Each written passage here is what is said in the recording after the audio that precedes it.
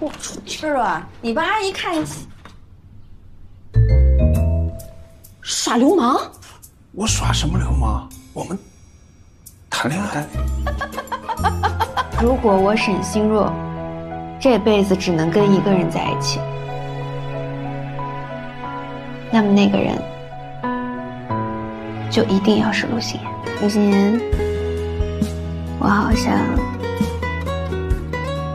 喜欢你了。谢谢你更喜欢。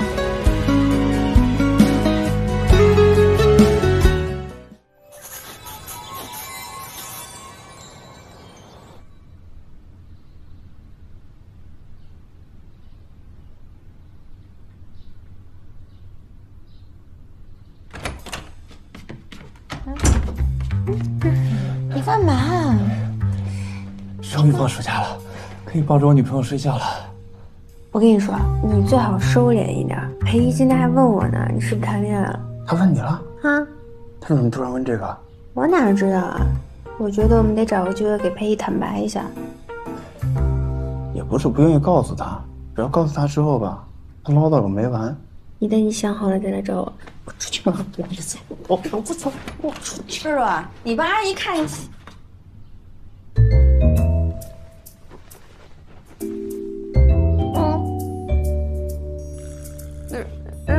日若不在啊，我我我我等一会儿再来啊。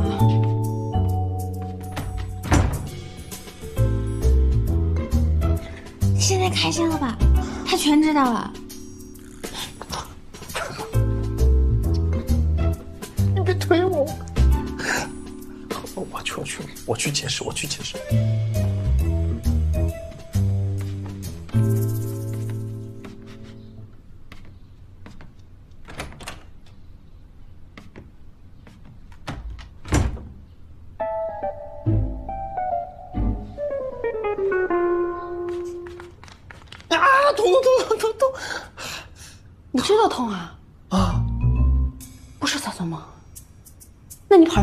么去了？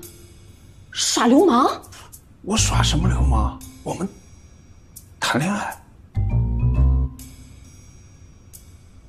谈恋爱？你啊？和若若？是。什么时候的事儿？我们在一起有段时间了，本来之前就想告诉你，但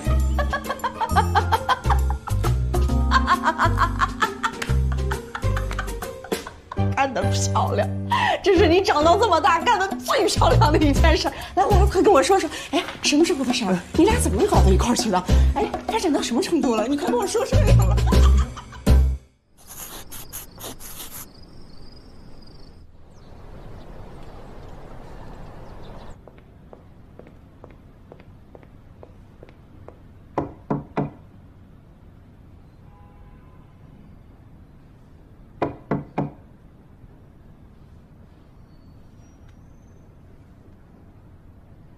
庆庆，你还好吗？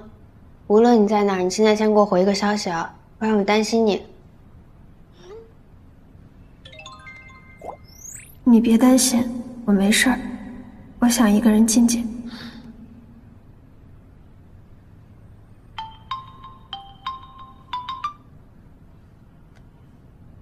喂。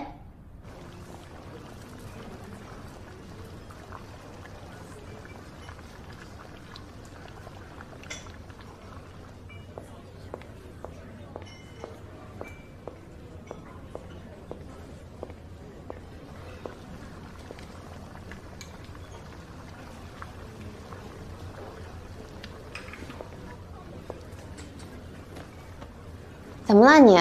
我来你都没发现？啊，没有啊，等你呢。工作的事情忙完了。啊，本来今天晚上想约庆庆吃饭，但是他说他想一个人待着，我就过来了。啊。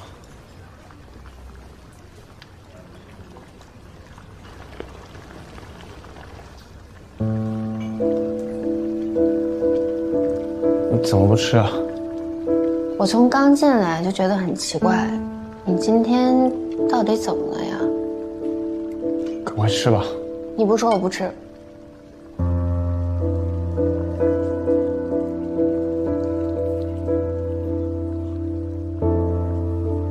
今天天许承洲跟我说了件事情，度假村接到了一个新的活动。活动，那不好事吗？这个活动是是一个赠礼，谁的葬礼？是你爸爸的葬礼。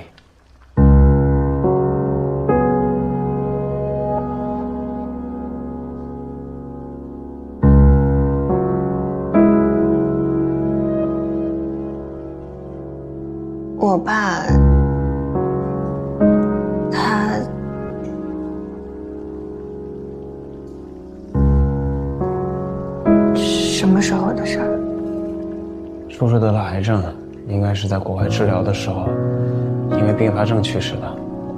目前为止，只知道这些情况。他他什么时候回国？因为遗体回国很麻烦，所以叔叔的家属已经同意在那边火化了。到时候他带着骨灰直接回国，在度假村办的是告别仪式。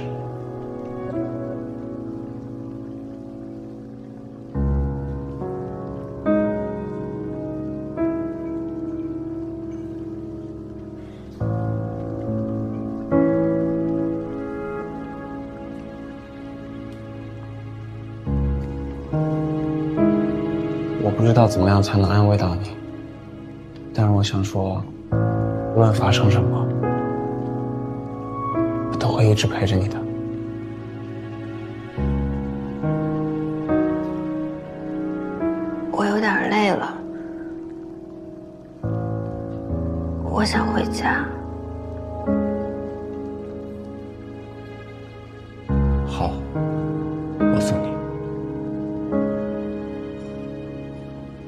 刚才看你一口都没吃，我点了面皮还有馅儿，给你包几个馄饨。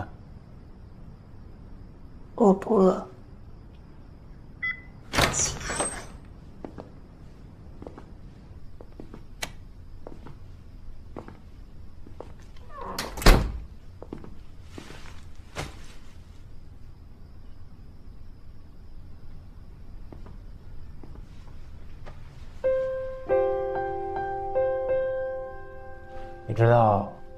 其实不只是一种消化器官，而且也是一种情绪器官。当你好好照顾它的时候，你的心情也会变好的。我先去给你做，等你想吃了，随时都有。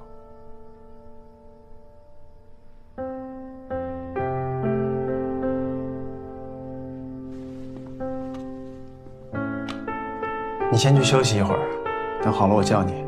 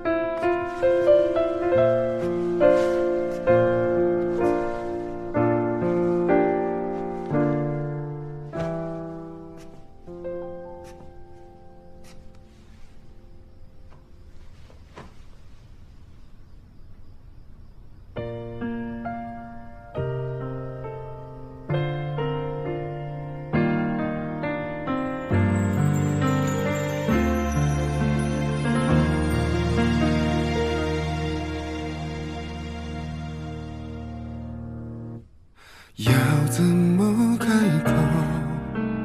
我言不由衷，断联明明的，成全每段成熟，回忆的汹涌，拼凑每一帧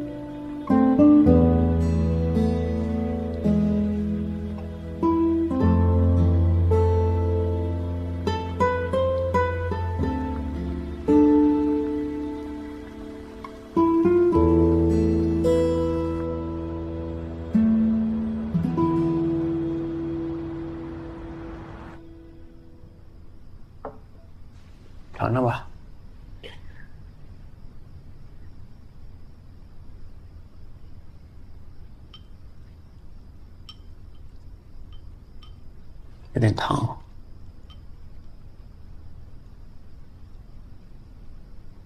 沈光耀，你为什么对我说出那样的话？我放弃自己的工作，变成今天这个样子，我还不是为了你，为了这个家？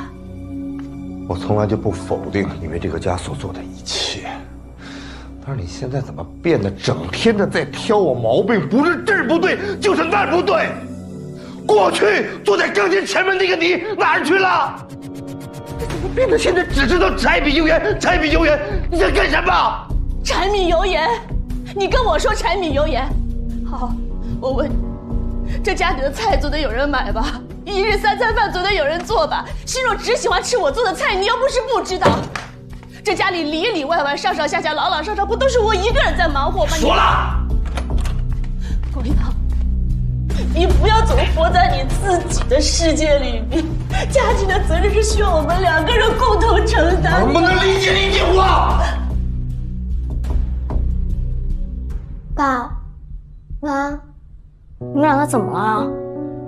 没事，那什么，你写作业，我跟你妈说了。没事，没事儿，心若，没事啊，没事，宝贝，没事啊。来，你先写作业啊。饿了吧？一会儿妈妈给你做你最爱吃的火锅，好不好？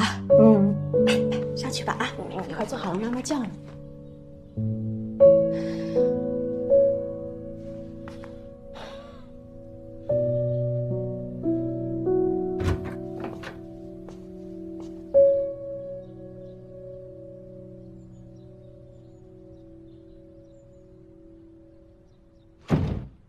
我妈去世之后，我感觉我的天都要塌了。节顺便。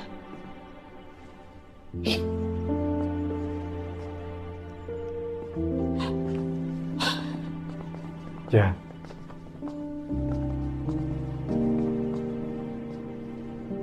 但是我在我爸的眼里，看到的居然是一种解脱。让我最不能接受的，就是我的爸爸居然跟我的班主任方老师走在了一起。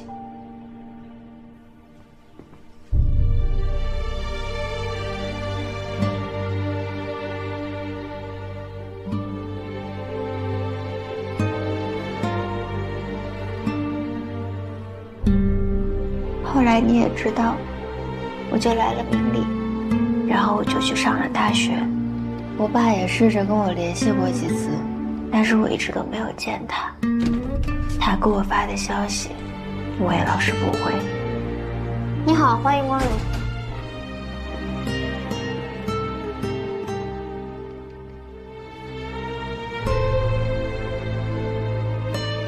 你怎么来了？啊，我这儿有一画展，然后顺路过来看看你。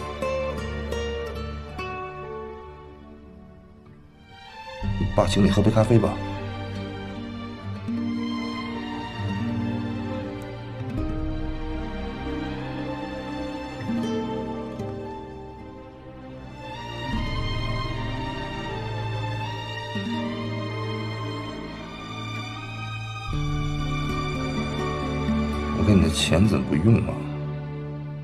我觉得我现在这样挺好的，自食其力。我不是说过吗？我不需要你。你怎么还不明白？到什么时候都改变不了你是我女儿这个事实。这么多年都过去了，爸是不是也得往前走一步？我是不是也得有自己的生活？爸，求你了，别恨我行吗？这么多年，你还是没变啊！宽于待己，严于律人。你有权利去选择你的生活，那我也有权利去选择我自己的生活。我希望我的生活里没有你，请你不要再来打扰我，你懂我意思吗？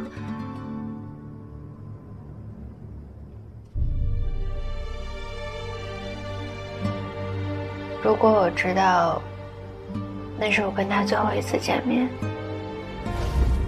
我应该不会说那么过分的话吧？我觉得我爸应该还挺恨我的。为什么这么说？如果他不恨我的话，他为什么不告诉我他已经生病了？他为什么不让我跟他见最后一面？不管我们两个人之间的关系怎么样，没有跟他好好告别，其实我也蛮内疚的，这是我的遗憾。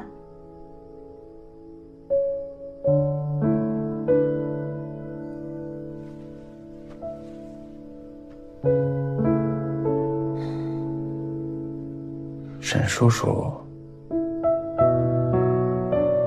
是一个好丈夫，或许他也不是一个好爸爸，但是我觉得你对他不需要有那么多恨意。毕竟他作为一个成年人，他确实有选择自己生活的权利。我觉得。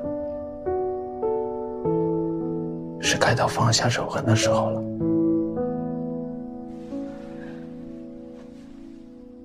现在不管是放下还是不放下，恨还是不恨，都已经不重要了。我已经没有机会了。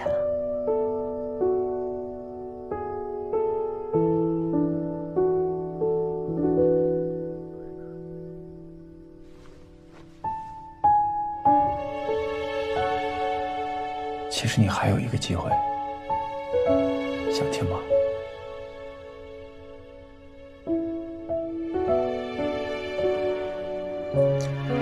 今天我们核对了告别仪式的流程，你爸爸临走之前特意交代，希望能让你来作为他告别仪式的致辞人。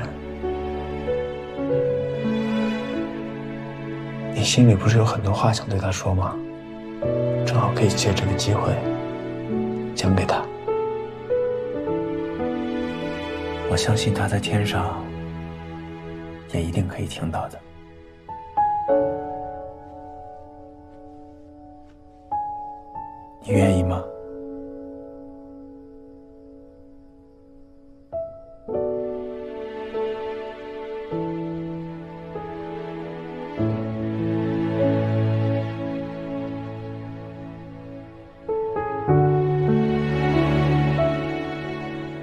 我的父亲是一个非常卓越的艺术家，他的艺术成就非常的瞩目，相信在座的各位都有所了解。身为他的女儿，今天在这儿，我想对我父亲说几句话。其实，在今天之前，我跟我父亲的关系并不和谐。我们已经有很多年没有互相联系过对方了。我一直以为，我们两个人情感之间的纽带可以淡薄到忽略不计。但是在我知道他去世的那一刻，我才突然发现，原来我们两个人灵魂的深处被紧紧地捆绑在了一起。我们有着非常相似的性格，非常雷同的处事方式。不管我愿不愿意承认，他们都在我身上留下了深深的痕迹。我父亲曾经对我说过一句话，他说：“我是他的女儿，这是永远无法更改的事实。”当时我非常排斥这句话，结果到现在，我才明白这句话的含义。我感谢我的父亲，感谢他给予了我生命，一切的因果是非都已烟消云散。我希望他在此可以获得永恒的平静。好，沈光耀，邢若，说得好，他不是死了吗？什么情况？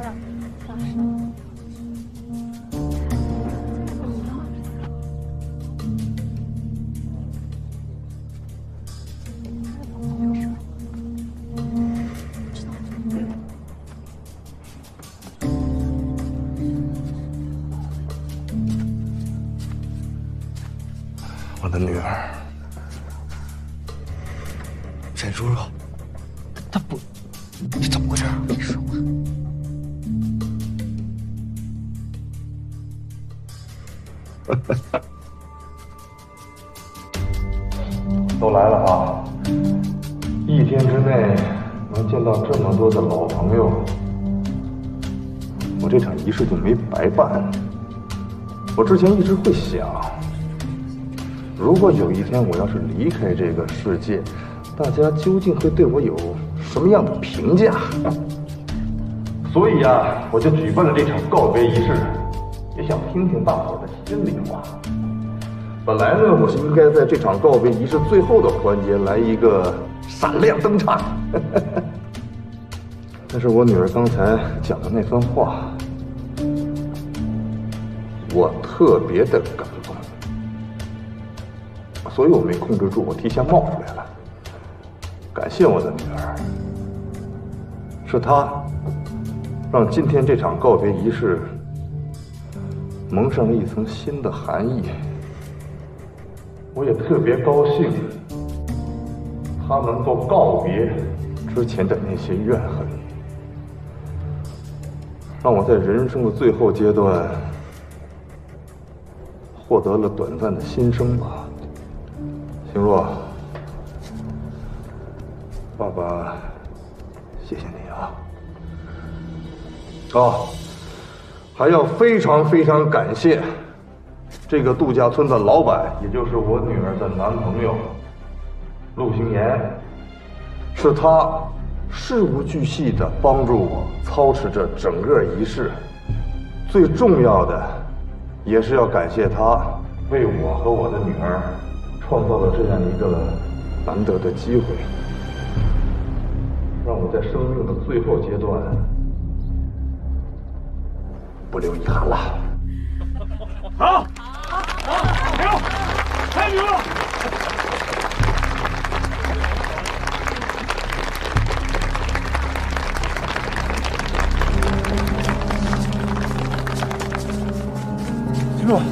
我解释。你早都知道这件事是不是？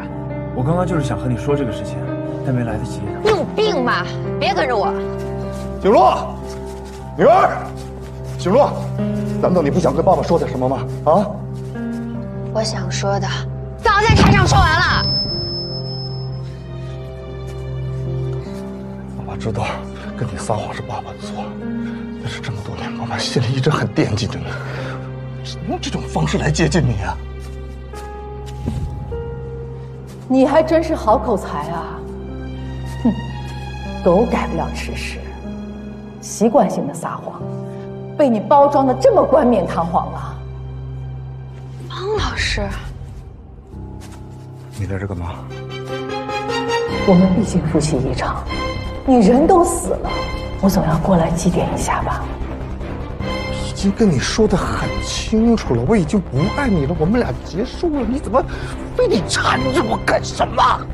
你生病几年，我为你跑前跑后，我连工作都丢了。我照顾你的时候，你怎么不说你不爱我了？现在倒好了，你说出国看病，半年时间就有了新欢，你的爱就这么廉价吗？我是你的妻子，你能负一点责任吗？你闭嘴好吗？我凭什么闭嘴？我哪句说的不是事实了？这就是你的新欢吧？我今天倒要看看你们迅速真正的爱情。你闭嘴！好好的一个小姑娘，你什么不干啊？啊，你干这种下三滥的事情？谁说下三滥了？你在说什么呢你？你们俩已经分手了，我跟国耀才是真爱，有什么错？沈光耀谈恋爱的时候你还没出生呢吧？他给你了多少真爱呀？两分钟还是三分钟啊？闭嘴！不就是为了钱？你跟你拼了！哎哎哎！阿姨冷静静，谁是你阿姨？你跟谁？姐姐，姐姐冷静，冷静，冷静，冷静！阿姨啊，姐姐，姐姐，冷静，姐姐，冷静，啊，姐姐，姐姐。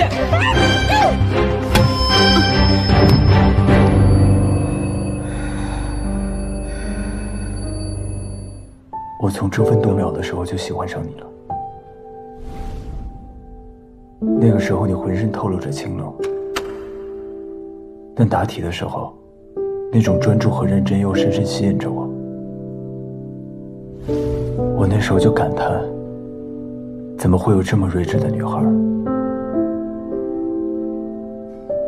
但没过多久，陆欣就在节目里跟你求婚了。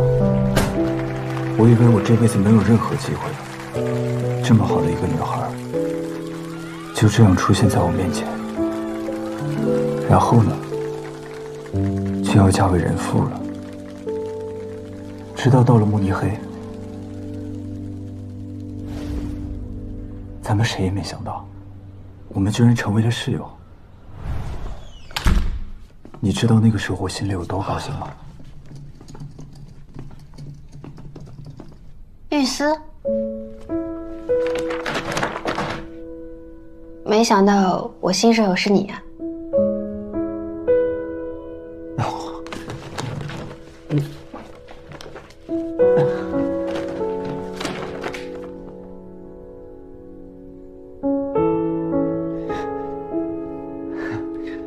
好了，好巧啊！好巧，没想到。我们在这儿成为同学了。哎，你怎么来这留学了？你没结婚吗？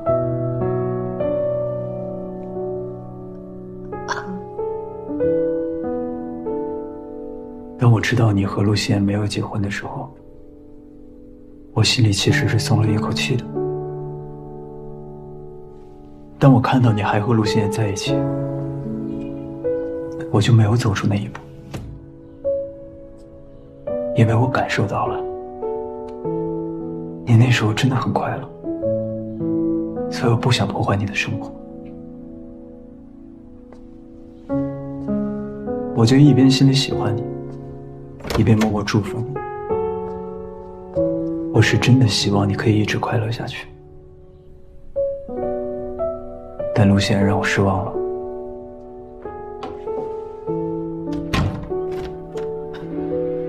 分手之后，我看到了陆心言给你带来的伤害、悲伤、痛苦。我那个时候心里真的很难受，非常难受。我开始讨厌他，我讨厌他放着这么好的女孩，没有好好珍惜。我讨厌他这样伤害你，但我还是不敢，不敢迈出那一步，因为我知道你心里还有他。我以为我只要默默的守护在你身边，等到他在你心里彻底消失的那一天。我就可以向你迈出那一步了，但没想到，兜兜转转，你们又相遇了。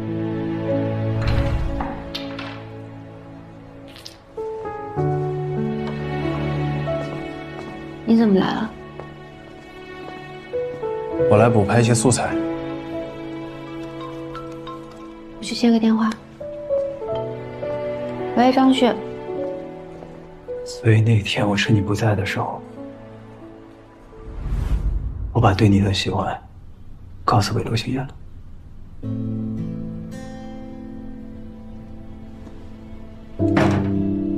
原来陆心言吃醋是因为他早就知道你喜欢我。原来我误会他误会了这么久。我知道我这么做是很龌龊、很糟糕。但是喜欢一个人的时候，真的没有办法控制住自己内心的占有欲啊，沈清若，你可不可以不要再困在你爸爸或者陆心言这些事情里了？只要你愿意，我们随时都可以离开这里，随时，我带你走。去慕尼黑，或者柏林，哪里都行。我给你开出的条件，全部奏效。你可以继续做你的电视节目，或者再做回你的纪录片导演都行。无论怎么样，我都陪着你。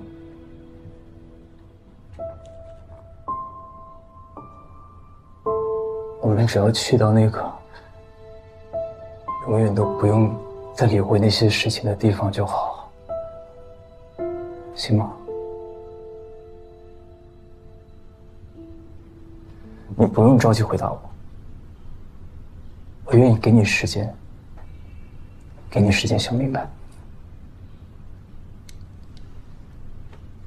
你心里比任何人都清楚，我们两个人就只能是朋友。我知道，但我还是想给自己争取一次机会。一次守护你、陪在你身边的机会。谢谢你的关心，但是我相信我自己能处理好我的事儿。我和他之间确实发生了一些小矛盾，但是你的出现，让我瞬间冷静了下来。我脑子里想的完全不是我要怎么回应你，而是我很自责。我居然误会了陆心言，误会了这么久，他的存在对我来说非常的重要。如果我沈心若这辈子只能跟一个人在一起，那么那个人就一定要是陆星。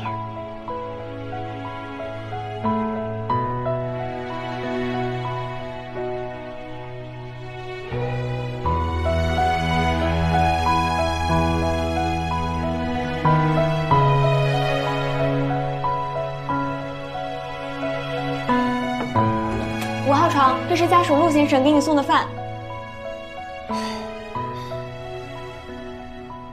给星若送饭。可惜了，我已经给他送过了。陆星言，星若已经答应跟我去柏林了，害怕吗？不可能，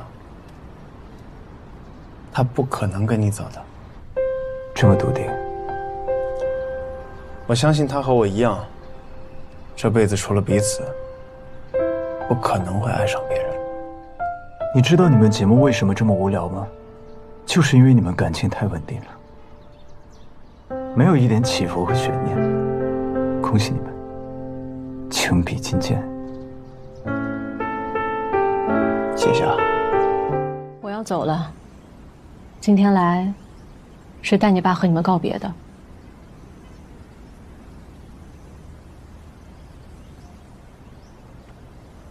这是用你爸骨灰提取的骨灰钻，你爸生前就定好了。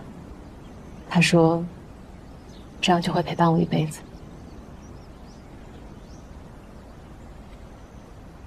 那我爸的追悼会呢？追悼会？哦，你说的是告别仪式吧？嗯，不是已经办过了吗？当时大家都以为是场行为艺术，其实就是老沈提前找机会。再见见他的朋友，还有你。好了，不说了。接下来的时间，我要带他好好看看这个世界。拜拜。嗯。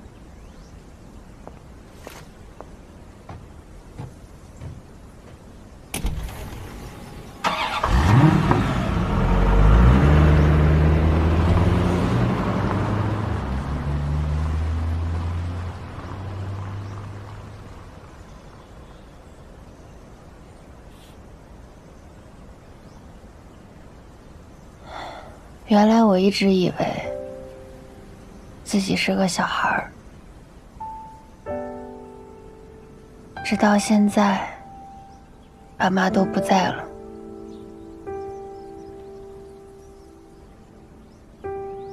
我好像一瞬间就看到了生命的尽头。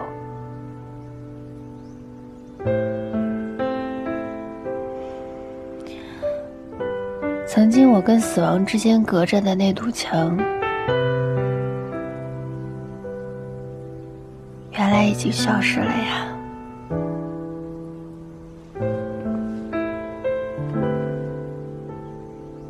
陆星言，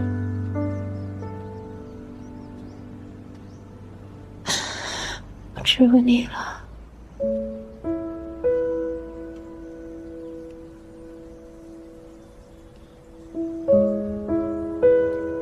我会永远陪着你，永远。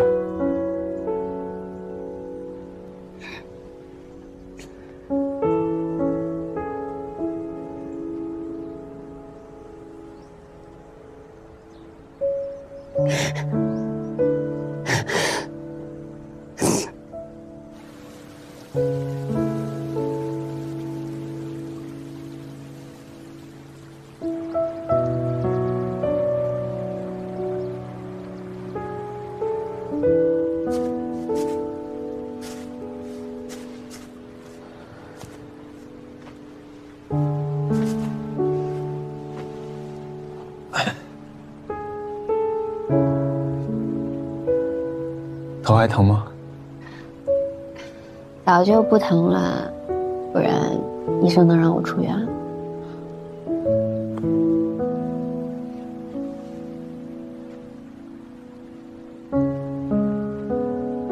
对了，我想跟你说件事儿。嗯。那天，玉思过来找我了，他说，其实他一直都很喜欢我。我知道。我在停车场见到他了。他跟你说什么了？他说，他表白成功了。才没有啊！我那天可是义正言辞的拒绝了他。当然知道。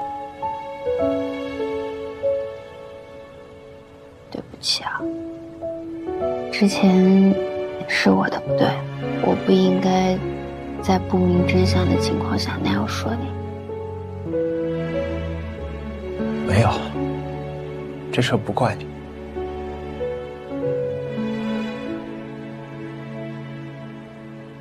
其实这两天，我想了很多，也回忆了很多我们之间的事情。我现在有了一些新的感悟。什么感悟？就比如说，我送你一杯奶茶，在我的世界里，我可能把所有的关心和爱意都放进了这杯奶茶里。但是在你眼中，它可能仅仅就是一杯奶茶，所以，我们两个对于一件事情的理解是会有偏差的。现在想想，我真的挺幼稚的。但是现在我明白了，爱一个人的正确方式，不应该是自我感动，而是站在对方的视角去感受这个世界。所以，我给自己定下了一个小小的目标。什么小小的目标？我会不断调整自己的视角，换位思考，多用你的角度去看待问题。还有，每天多理解你一点，每天多靠近你一点。你愿意给我这个机会吗？